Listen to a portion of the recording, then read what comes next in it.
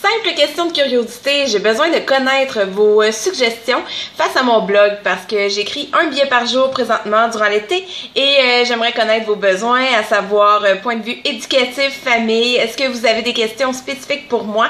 Ça va me faire un plaisir d'y répondre. D'ailleurs, cette semaine, la question que je me posais exactement, c'est est-ce que vous continuez à faire progresser les apprentissages de vos enfants durant l'été? Si oui, de quelle façon? Est-ce que c'est en lecture, en écriture?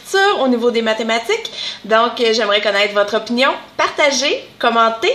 Ça va me faire un plaisir de vous euh, lire là-dessus. Je vous souhaite un bon nombre de semaine.